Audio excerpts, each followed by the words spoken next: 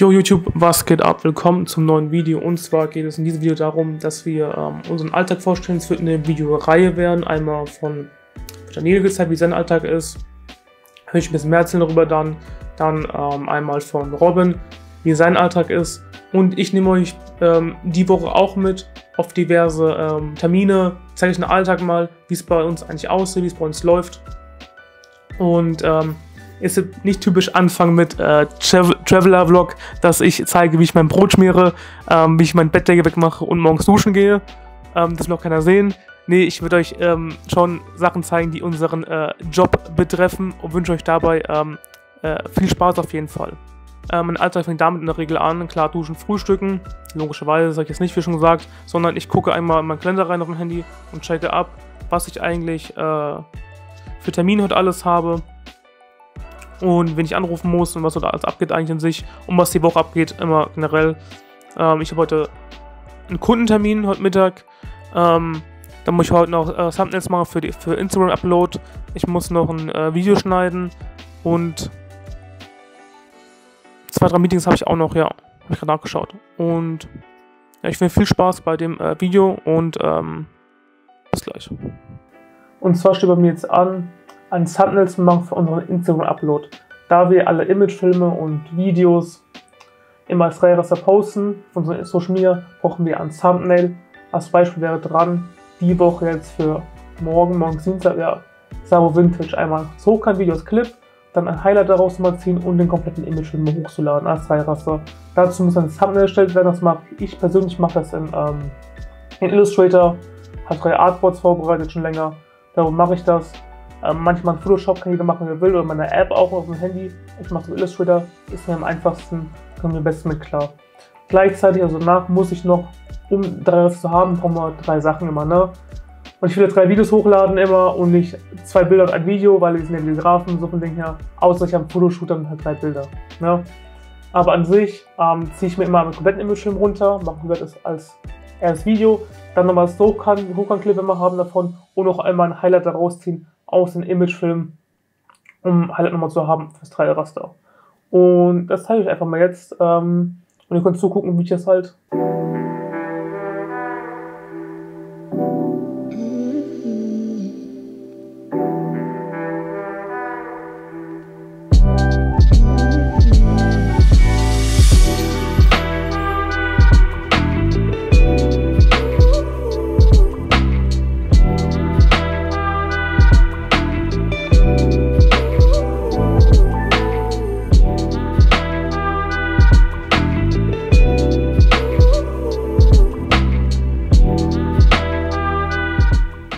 Leute, ähm, und zwar wollte ich euch einmal gezeigt haben, was eigentlich für, für andere Videografen interessant ist, keine Ahnung von anderen Firmen, von denen die zuschauen. Und zwar, ähm, Sekunde. Und zwar arbeiten wir mit ähm, HiDrive, da wir lange eine Lösung gesucht haben, womit wir was ähm, hochladen können, ähm, Kunden zuschicken können und uns untereinander zuschicken können auch, ähm, wo kein, oder bei dem kein ähm, Qualitätsverlust ist wie bei Drive oder meiner Meinung nach auch WeTransfer irgendwo. Oder Dropbox uns auch nicht gefallen. Da wollten wir eine Cloud haben, womit wir auch Dokumente haben können, wo wir ein System haben können, ähm, womit wir remote arbeiten können. Und wir sehen lade ich gerade ein paar Sachen hoch. Und zwar ist einmal der High bei uns, der hat uns dafür entschieden, da wir hier alles Dokumente haben können, Ordner. Und wie ihr seht, haben wir teilweise bei Kunden haben wir 62 GB drin, das war mal das doppelt, dreifache. Ähm, da bei uns Material halt teilweise äh, riesengroß ist. Teilweise haben wir ähm, Dateien, Rohmaterial, das 40 GB groß von einem Musikvideo oder 50 GB von einem Imagefilm. Und das schicken wir alles teilweise hin und her, da wir remote arbeiten. Ähm, praktisch, wenn wir es aufteilen, ich schicke Robin was davon zu, ich schicke Daniele was davon zu, als Beispiel jetzt Daniele schickt mir das YouTube-Video zu, ich gucke drüber. Ähm, das sind riesige Teilmengen und wir wollen keinen Qualitätsverlust haben, logischerweise. Und deswegen haben wir uns entschieden für High Drive. Kosten eh viel, nutzen viele im Businessbereich, größere Firmen auch. Ähm, ist von Ionis, kann ich nur empfehlen, würde ich auch empfehlen. Ähm, ja, ist einmal dazu. Dann, wie ihr gesehen, hat, gesehen habt, habe ich hier ähm, die Thumbnails erstellt. Das ist ganz easy. Ich habe das alles vorbereitet schon, logischerweise. Ne? Also am Anfang muss ich halt die Artboards erstellen, ist nicht schwer. Da wir mit Adobe Cloud arbeiten, macht drei Artboards. Da wir ähm, Reels hochladen, macht es einfach immer 1920, 1080, nee 1080, 1920, so rum, weil das genau das hochkant ist. So, dann macht es ein bisschen mittig hier, weil das hier oben sieht man im Real-Raster zwar, aber nicht im normalen Raster. Dann macht es macht mittiger. Habt dann schon zwei Raster, exportiert die Artboards. Ähm, ja. Dann habe ich einmal, der Film war, das habe ich ja fertig gemacht schon längst, der ähm, Imagefilm. Und ähm, da habe ich einfach nur so einen fertigen Film hier. Habe ich einfach nur ein paar Clips genommen. Ähm, und zwar einen Anfangsclip habe ich hier genommen, wie, wie, ihr gesehen habt, diesen ersten Clip hier. Äh, damit, wie ich praktisch ein Highlight habe. Dann einmal habe ich es hochkant, habe ich noch hier. Das laden wir dann auch einmal hoch als normales Reel. Ähm, und den kompletten Imagefilm, der ist ja schon oben auf der Cloud, ähm, nehmen wir dann als drittes ähm, Raster-Video, damit man sieht, damit man sieht was, für, was wie der Computerfilm aussieht. Ja, das erstmal dazu. Wenn man genau dazu ein Video sehen will, kann ich es nochmal zeigen, auf jeden Fall nochmal in genaueren Videos. Ähm, ich glaube, so fürs Erste ist ganz interessant, mal grob zu sehen, wie wir das machen oder wie ich das hier mache. Daniel macht YouTube-Videos. Das Ding ist vom Schneiden her, ihr werdet bei mir, bei mir sehen, wie ich schneide, ihr werdet bei Daniel sehen, wie er schneidet. Vom Ding her schneidet jeder komplett. Aber viel schneiden anders da. Ich mache das als kleines Beispiel, ich mache das hier groß alles so, ja. Und er macht das, zeig's euch mal.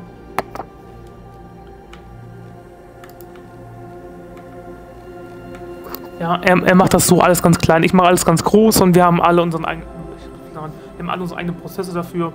Und deswegen wird er zeigen, wie er das alles macht.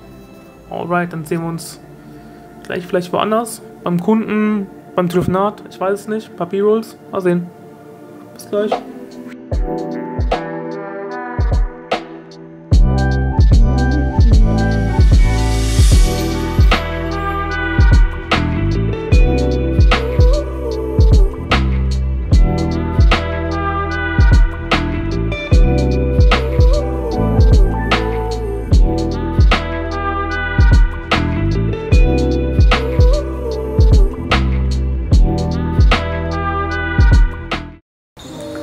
Ja, was geht? Was geht ab, Alter? Lange nicht gesehen, wie geht's? Heute mit Chris unterwegs, weil ich möchte eine Woche mit. Und beim sehen Sie auch im Vlog. Wir gehen jetzt zu einem Geschäftstermin.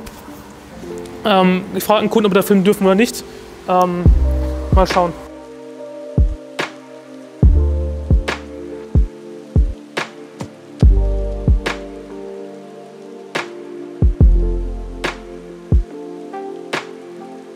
Wie ihr gesehen habt, habe ich gerade einen ähm, Robin begrüßt. Wir gehen zu einem ähm, Geschäftstermin heute.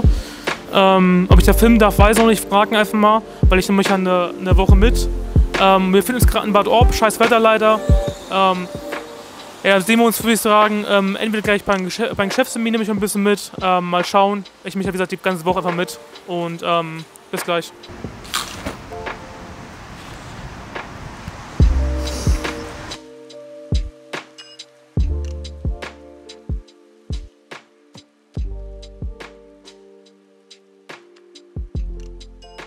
Und zwar willkommen zurück. Wir sind jetzt in Bad Orb in der Redaktion von Rolf Baumgarten. Wir haben ein paar Sachen vorhin besprochen mit ihm, die ihr vielleicht im nächsten Monat sehen werdet, vielleicht auch nicht. Mal gucken.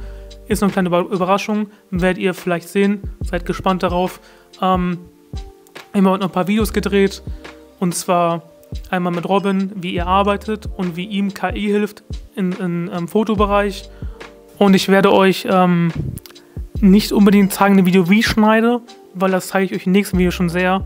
Und so Drehorte ähm, seht ihr in dem Video auch nicht, leider, da wir für jeden Dreh ein extra Behind-the-Scenes-Vlog aufnehmen. Und da wäre es ja überflüssig, wenn ihr hier das Nebenvideo vom Rennteam seht und nochmal extra Rennteam-Vlog habt, wie mit dem Imagefilm und so weiter. Ähm, jetzt soll ich kurz, wo Robin heute, heute ähm, seine Videos gemacht hat, er seine Videos, sein, ähm, sein Behind-the-Scenes und an den kleinen MacBook arbeitet Robin immer. Ich würde am Mac niemals arbeiten, weil ich, also jetzt niemals gerne ausprobieren, aber ich habe keine Ahnung davon, fast kein Plan. Und hier drüben unser kleines Ausschaumaterial, die Mikrofonsachen. Und das mega cool finde ist, was uns heute der Ralf gezeigt hat, und zwar, warte mal, vorstecken. Und zwar diese ultimativ coole Kamera, finde ich. Und zwar einmal von Zeiss. Ich weiß nicht, wie alt ist. Ralf, wie alt ist die Kamera? Weißt du das? 60 Jahre. 60 Jahre alte Kamera und 70 Jahre alt ungefähr. Und ich bin ehrlich, ich habe da, ich, das Einzige, was ich erkenne, ist, wenn man durchguckt hier oben und den Blitzschuh drauf macht, davon habe ich keine Ahnung. Und hier einmal die Blende, davon der Rest habe ich gar keine Ahnung. Und ich finde das Ding einfach ultimativ geil, weil das heißt eine richtig gute Firma ist meiner Meinung. Und das alte Gerät, hast auch nochmal gezeigt.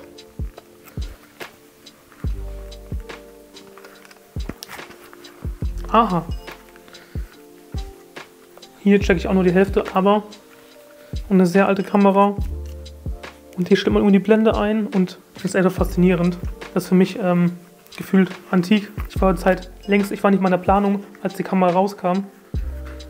Wie die meisten Videos wahrscheinlich sehen gerade. Aber ich einfach mal zeigen, weil ich es richtig cool finde. Ich würde sagen, hiermit beende ich auch unser, den, den Vlog hier.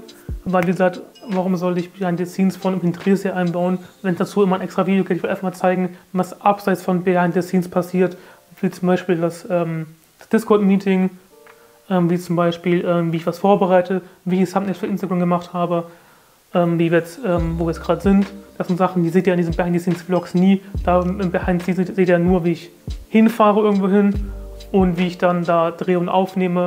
Aber was außenrum alles passiert in Planung, wie zum Beispiel, dass ich bei Hockenheimring diese ganze Planung, der steckt, dass ich zu Race Control mich melden musste, dass ich mit den Veranstaltern reden musste, das ist ja alles Sachen, die sieht man in den Vlogs vor Ort nicht. Das wollte ich euch damit einfach mal zeigen und hoffe, euch hat es gefallen. Und ich wünsche euch einen schönen Tag, Abend, wo immer es seid. Ähm, und Burnout.